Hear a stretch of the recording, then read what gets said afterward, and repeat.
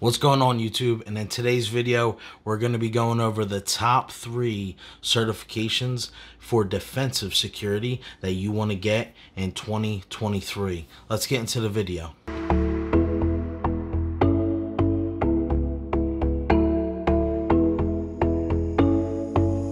So just a quick disclaimer. This is just my opinion. I am no expert. Um, I have my own set of beliefs, opinions, and experience, and I'm just giving that out to you. Um, so if there's something else that you're kind of thinking of taking, please don't let this list distract you from that. I still want you to be able to take um, the certifications that you think are going to better further your path into security. So it's worth noting that this is for defensive security. These three certifications that we're going to go through are focused on defensive security. Um, if you are somebody that's looking to get into uh, some kind of pen testing uh, or some type of red team work, then the, these certifications are still going to help you. Okay, it doesn't matter, um, you know, if you're red or blue team. A lot of these uh, certifications are going to clash into one another. You're going to see this kind of stuff in the field no matter which way you go. Now, that being said, I am going to do a whole separate video of the top three certifications in offensive security. Um, so keep a lookout on for that, and I will be posting that within the next few weeks or so. So I am going to go through this list in a particular order um, from what I think that you should get first and then moving your way up into uh, the certification level difficulty um, just to improve yourself without jumping too far ahead and confusing yourself drum roll. Let's get into the first certification. The first certification that i think is the most beneficial to someone going into defensive security in 2023 is no i'm just checking with you. It's going to be the network plus. So let's get into what the network plus offers and how it is taken, what you can score, and some of the costs associated with it. So the Network Plus is going to be a 90 question exam. Now this is typically the max that the exam is going to go up to. So you could have, you know, 70 or 80 questions on this exam. It all depends really. Um, this exam is going to have some uh, PBR questions in it where you're going to have to do some hands-on work. It's not as much as some of the other certifications on this list, but you will still see it. So for this exam, you're going to have to pass with a 720 out of a 900 at the minimum. Obviously, I want you to do better than that, and um, it's okay if you don't.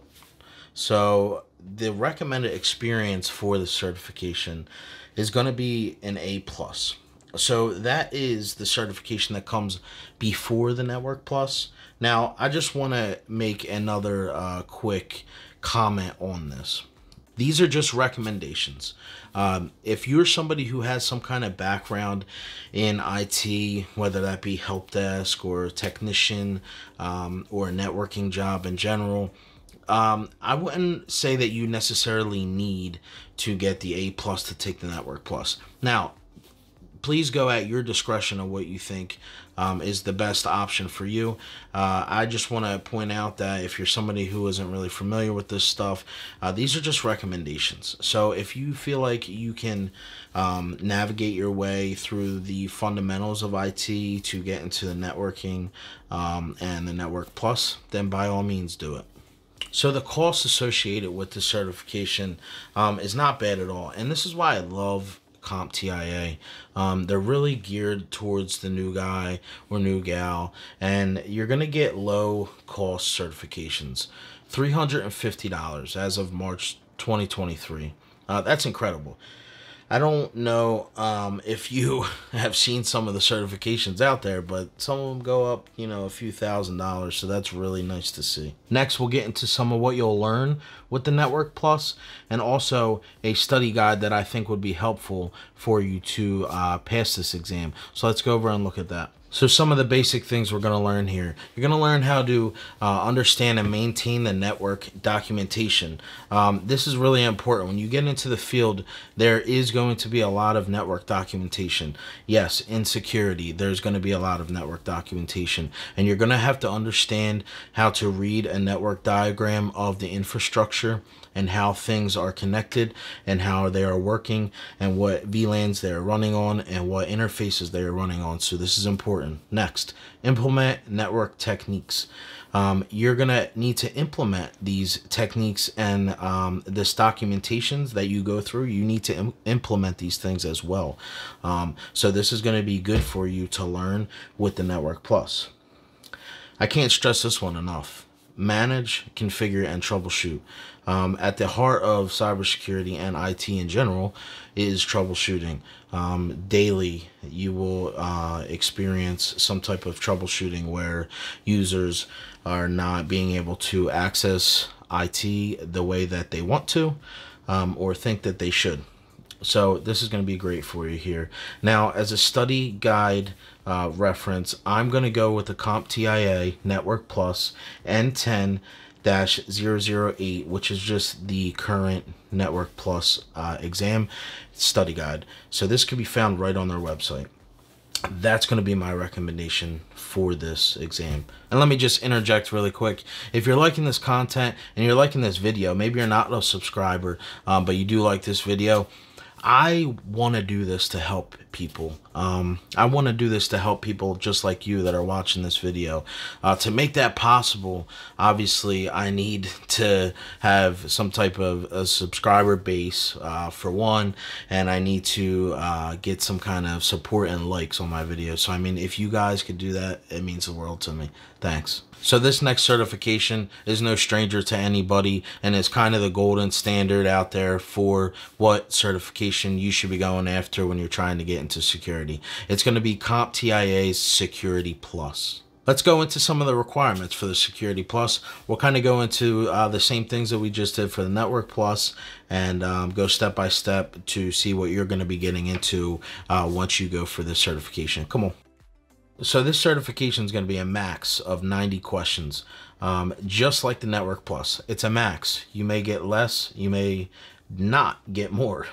Uh, you're going to want to get a 750 out of a 900 on this exam. I personally scored a 792, I believe, on this exam. So anything over 750 is passing. Don't ever get discouraged on yourself for even if you got a 750. Nobody cares. It's just, did you pass or did you not pass? So the next thing is going to be that they're going to recommend some type of um, networking experience. In particular, obviously, they're pushing for the Network Plus. This, however, is the same concept as I told you before. It's not necessary, but it could work out good in your favor. Just my personal experience I didn't personally need to take the Network Plus for the Security Plus, and that may be your uh, journey as well. So don't feel any type of way if you feel like you have your networking abilities up to par and that you don't need to particularly take the Network Plus in order to take this Security Plus exam. That being said, if you want to freshen up on your skills, you can always just take the the uh, practice test for the Network Plus and just walk through some of the material without actually taking the exam. That's always an added benefit to do something like that. All right, so what are you going to learn with this exam? What are the, some of the things that they're going to go over and that you're going to acquire in order to take and pass this exam, as well as, again, some study guides that I suggest um, for this exam. So let's look into that now. So one of the first things here is you're going to learn how to monitor uh, security.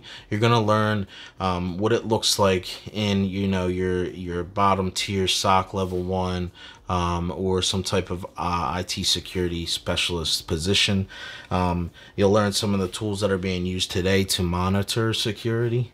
Um, and next, you're going to learn common attacks. Um, and you're going to learn how to prevent them and mitigate them um, when you see these attacks being taken out on a network. Uh, this is highly important, obviously, for a company to know that you know how to uh, prevent and mitigate from attacks that are out there on the internet to protect their uh, infrastructure. So, as an entry level um, cybersecurity professional, one of the main things you're going to be doing is identifying risk and responding to security events. Um, you need to learn what these um, risks look like, um, how companies identify and accept some of these risks, as well as responding to security events that are happening daily 24 7. The next thing I got here is my uh, personal opinion on the best study material for the Security Plus, and that's going to be Daryl Gibson's Security Plus study guide. You can get that down in my description. I'll link it in this video um, right to Amazon, so you can hop right on there and buy it right from there. Um, it's like thirty dollars or forty dollars. I'm not positive, but it's something around that range. It's gonna really help you.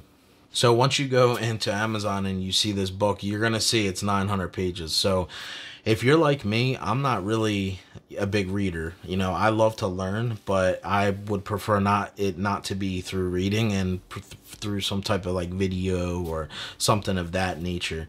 Um, so if you are like that, just buckle your shoes up and just do it because the book's amazing. It's really going to help you get through it.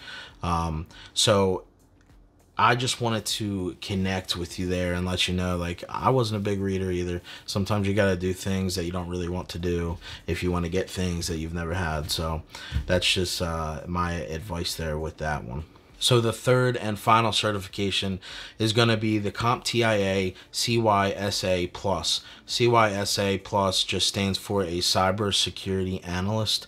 Um, this is going to be a great certification uh, for somebody who has already acquired a Network Plus, who understands networking, who is now jumping into the Security Plus and has passed it and has long, learned a broad um, landscape of security, but really hasn't dived into a role. The CySA Plus is really going to be able to allow you to dive into that analyst role and learn exactly what um, is done on a day to day basis. Now, you may say, these are all CompTIA. CompTIA is great for beginners. That's why. Um, if they didn't meet what I consider as being, you know, a good certification for you guys, I wouldn't put it on here.